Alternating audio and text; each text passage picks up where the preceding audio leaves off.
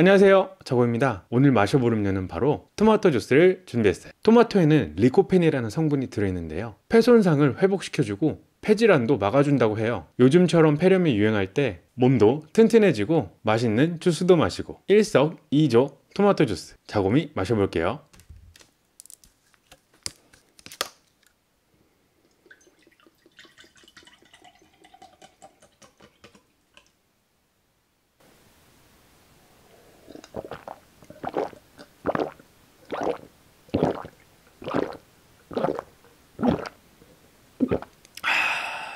토마토 특유의 은은한 달짝지근함과 살짝 묽은 토마토 주스의 식감. 정말 좋네요. 그럼 이제 1.2L 원샷에 도전해 볼게요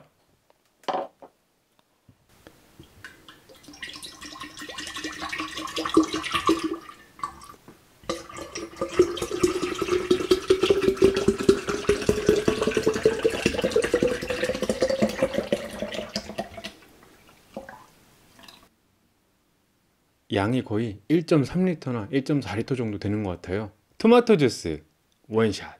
한 입만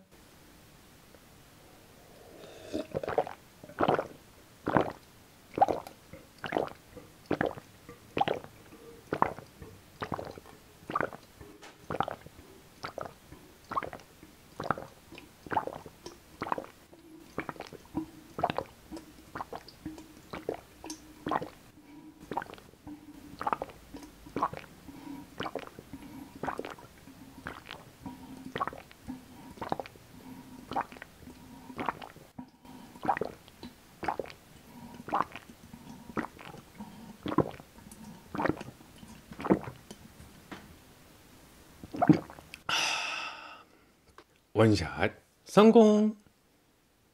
맛이 궁금하거나 자곰이 마셔봤으면 하는 음료가 있다면 댓글로 알려주세요. 자곰이 마셔볼게요.